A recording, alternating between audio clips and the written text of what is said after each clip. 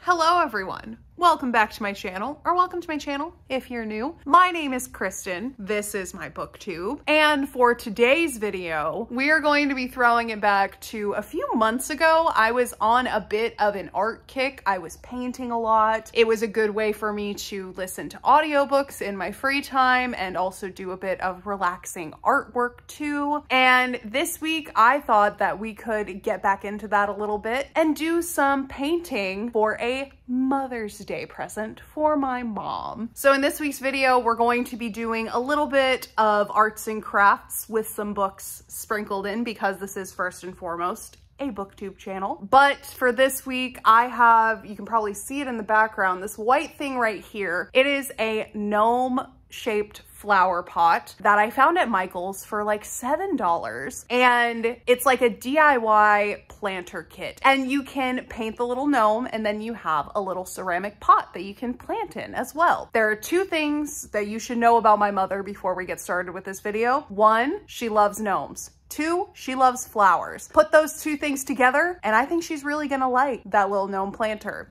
So yeah, that's pretty much all that's going on in this week's video. I was going to be doing this anyway because Mother's Day is coming up. By the time you're seeing this, Mother's Day will probably already be upon us, but as I'm sitting here right now, Mother's Day is this coming weekend and I do have some other stuff already that I want to give my mom, but I saw this little gnome in Michael's and it made me think of my mom, so I decided to buy it and go ahead and paint it for her for Mother's Day. As far as what book I'm gonna listen to while I do this, I did just finish Part of Your World by Abby Jimenez for my workbook club. I actually finished it ahead of time for once. Our book club meeting is not even until Wednesday. Today is Monday and I have already finished it. And I would take credit for not procrastinating, but the reason why I finished it yesterday was because it was due back to my library yesterday evening. So I really didn't have a choice on how long I took to finish it, but we're going to count it as a win anyway, because even so, I finished the book ahead of time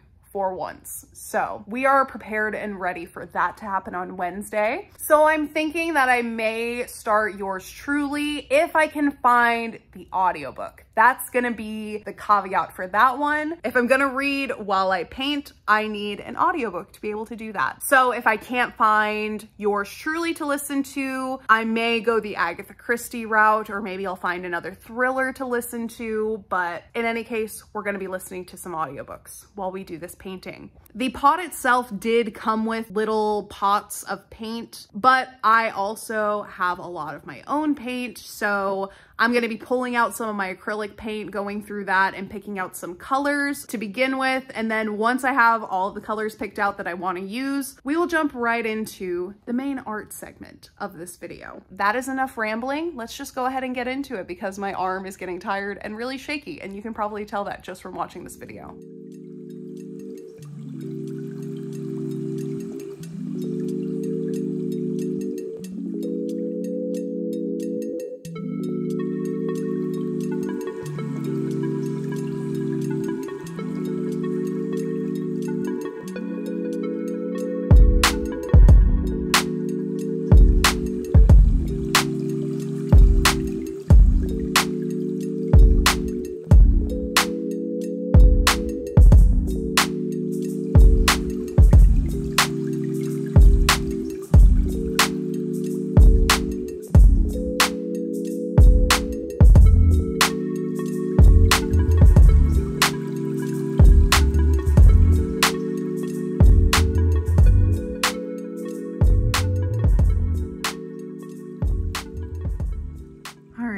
This is how he's looking so far. Today is the next day, so he's completely dry. So yeah, I went with like a red and blue kind of theme just because my mom has a lot of like seasonal gnomes and she doesn't really have any 4th of July ones. So I thought maybe it would be cute to make him kind of 4th of July themed, but not like explicitly. And I think I'm going to touch up some of these edges. Like I want to clean up some of these lines where there's paint overlapping or the paint is a bit thinner. And then I think I also want to do some polka dots maybe on his hat with some white paint. I think that that would look kind of cute. I could maybe do some on his hat and his gloves I don't think I want to attempt to do the pants just because there's very little real estate on the pants. So I think for sure I want to put some polka dots on the hat and then I may do some on the gloves as well. But yeah, that's how he's looking right now. I'm also going to try to maybe fix that and also that up there just so it's a little cleaner. I don't know, maybe I won't be able to fix that, but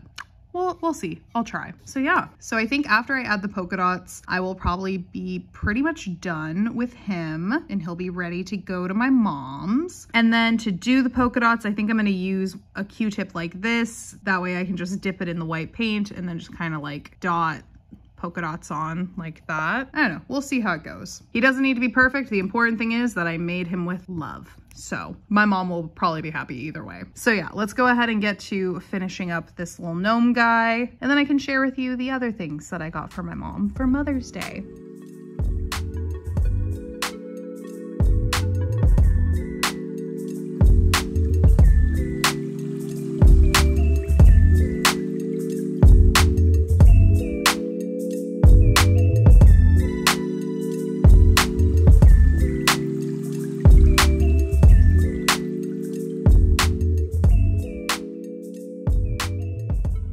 Alrighty guys, that is the end of the arts and crafts portion of this video. So this is the finished product. This is what he ended up looking like in the end. I think he came out pretty cute. He's not perfect by any means, but I am pretty happy with him. I think my mom's really gonna like him. And yeah, I was afraid at first that he was looking a little too much like Santa Claus with the red and the beard, but I think that the blue and the polka dots helped him look a little less Santa-like. In hindsight, I probably could have gone with another color other than black for the shoes. to kind of help make it not look like Santa, but I started with the shoes. So we were pretty much set with the black from the get-go. But in any case, I think he's still cute. And then like I mentioned a little bit earlier, I did get some other things as well for my mom for Mother's Day. So we can go ahead and talk about those as well. And they're nothing really big. I'm pretty sure I got them both from like the 135 section in Target. they were just things that I saw in that area when I went in one day and was looking around and they just reminded me of my mom. So I picked them up so that I can give them to her. And the first one that I saw was this wine glass that says Cool Moms Club. My mom does like to drink wine out of wine glasses like this. So I thought this would be a cute one to give her for Mother's Day. And then the other thing that I got her is this little yellow Yellowstone? Why did I say yella? I don't always talk like a Texan, but I guess sometimes it just slips out, like when I say the word yeah. yella instead of yellow. Anyways, this is a Yellowstone journal that has a quote from one of the characters on the front, it just says, I have a plan for everything. And that is pretty much my mother. She's a planner. She likes to write things down. She uses notebooks a lot and she really likes the show Yellowstone. So this just stood out to me when I saw it in Target and I had to get this for her as well. So yeah, those are the three things that I got my mom for Mother's Day and I still need to go get a card and a bag because I haven't done that yet. So now let's talk about the reading for this week because it didn't go as smoothly as I wanted it to. I initially really wanted to start yours truly while I did this painting, but just like part of your world, it had a hold time of about 26 days. So I couldn't get that one in time to listen to it for this video. I don't know why I thought yours truly would be available when part of your world also had a 26 day wait. I don't know what in my mind made me think that the second book would be any different or less popular. I had pretty much resigned myself to thinking like I'm going to listen to yours truly while I do this painting and that did not happen. So what I ended up doing is I started listening to a bit more of The Silent Wife by Karin Slaughter and I don't know if that book's gonna work for me. I think I might have to DNF it. Even though I really, really enjoyed the book Pretty Girls by Karin Slaughter, I just feel like this series, the Will Trent series, is similar in the ways that I didn't like Pretty Girls, if that makes any sense. I've mentioned on this channel before that even though I love mysteries, thrillers, things like that that often involve gruesome deaths, I'm a baby when it comes to details about body gore. And that's kind of why I don't read a ton of horror is because the body gore just grosses me out. And Pretty Girls did have a lot of gore in it, but the story was so intriguing and so interesting that I didn't really think about the gore that much. Whereas The Silent Wife is much more of a slow story to me, at least. Pretty Girls really hit the ground running and it was wild for 20 hours straight. But The Silent Wife really feels more like an old school procedural cop thriller.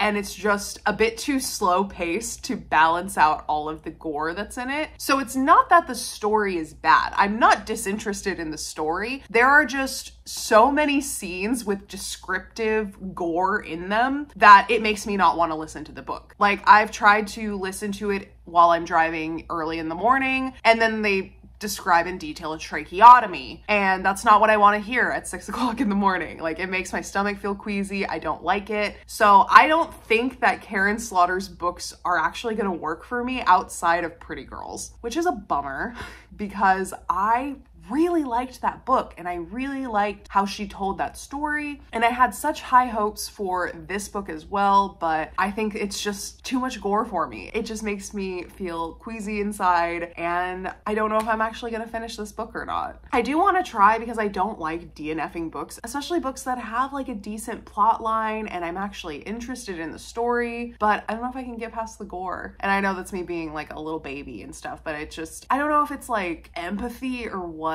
but whenever I read descriptions of body gore, it makes that part of my body feel weird. So like when they were describing the tracheotomy, for example, it made my throat feel weird and I don't like that feeling. So I think that's, it's like a visceral response to me when I read things about gore. So yeah, I don't know if I'm actually gonna finish that book, but that's what I listened to while I was painting. And it's also a pretty long book too. I think in total it's around like 15 to 16 hours and I'm only about four hours in. So it's very, very slow going as well. And yeah, so I may end up DNFing that book, but I really don't want to. In hindsight, I probably should have just picked up an Agatha Christie book. They're always available. So yeah, a bit of a disappointing uh, update on the reading front this week, but at least I got stuff done for my mom for Mother's Day. So it's not a total loss, but I do feel like I'm in the beginnings of a reading rut. So I really want to try to get out of that before I'm too deep into it. So I think I'm going to find a little Agatha Christie mystery to dive into today while I'm driving to my parents' house. Today is actually Mother's Day.